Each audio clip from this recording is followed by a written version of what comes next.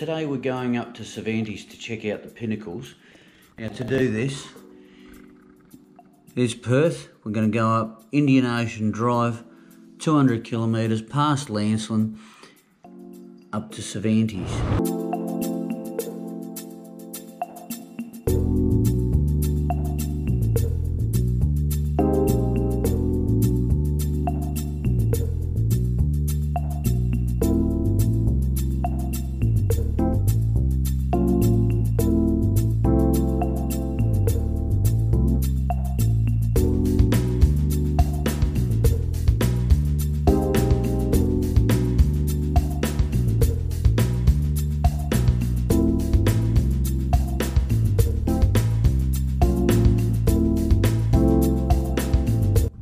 Here we are at the Pinnacle Desert.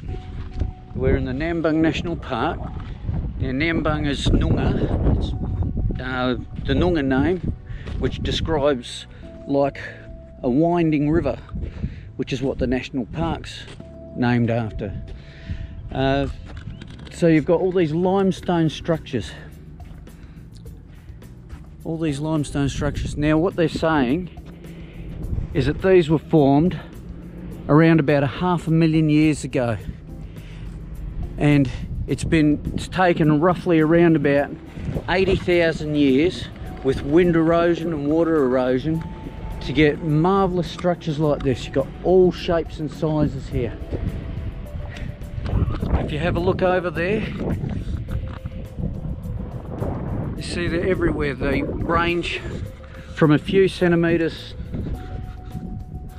anywhere up to five meters tall. The first time that these were actually sighted, uh, the story goes, was somewhere in the 1650s by the Dutch. And when they saw them, they thought that they were actually ruins of an old abandoned city. And then it wasn't until um, the 1800s the English uh, documented them again.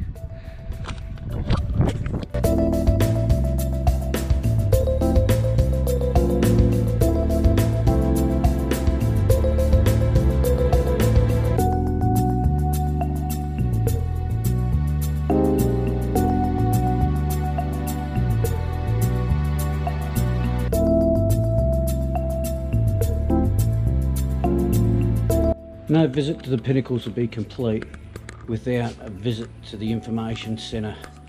Now here it tells you a lot about uh, what to look for for the signs of life, how the pinnacles were made. Photos of the pinnacles over the years tells you about some of the inhabitants, got spiders, cockroaches, marsupials, carpet pythons, sand gropers scorpions and centipedes, even the boobook owl. Now at this information centre you can also get drinks and ice creams and more information about the pinnacles. So come up here and speak to the people in at the Pinnacle Centre if you want to know where to go and what to see here. We've just had lunch at the Seashells Cafe. Good value for money food, really nice food. Ember and I've just had a fisherman's basket which was big enough for the two of us to share and a drink all together it was a total of about $34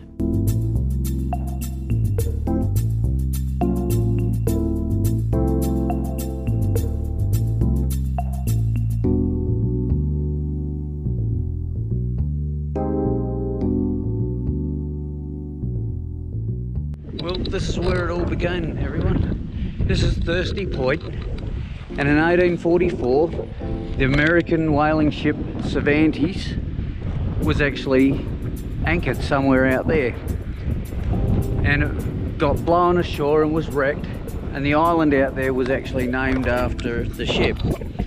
In 1963, the township actually adopted the name Cervantes. There have been four wrecks here over the years Europa was wrecked here in 1897. It's an Italian ship. The Mary, 1946. It was a 50 foot fishing boat.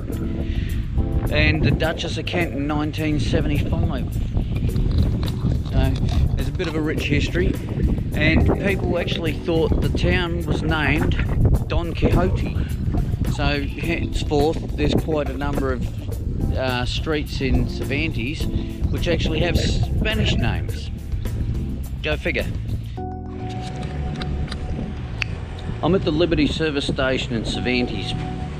Now when you're on a small small capacity motorcycle, this is a perfect place to actually be filling up. You're roughly about 200, 250 kilometres out of Geraldton, so if you fill up here or you fill up at Jurien Bay, you should then make it through to Geraldton. There should be fuel in between a couple of the roadhouses. There's a couple of roadhouses in between here and uh, Geraldton. But they also have the Island Cafe here.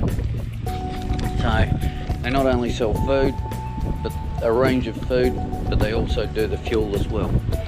Now I've filled up here, so hopefully I'll make it home on one tank of fuel. Uh, it's 200 k's back to Perth from here.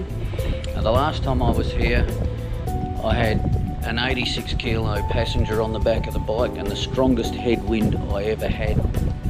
And the bike was open full throttle. I wasn't even making full speed on the motorcycle to the speed limit.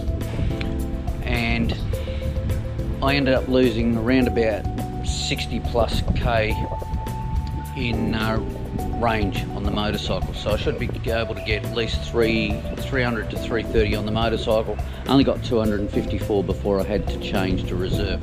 You want to find out more about the Pinnacles and Cervantes? Go to visitpinnaclescountry.com.au.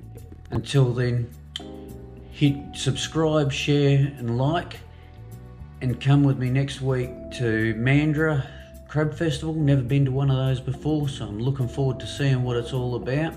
Until then, keep riding, stay safe, and have fun.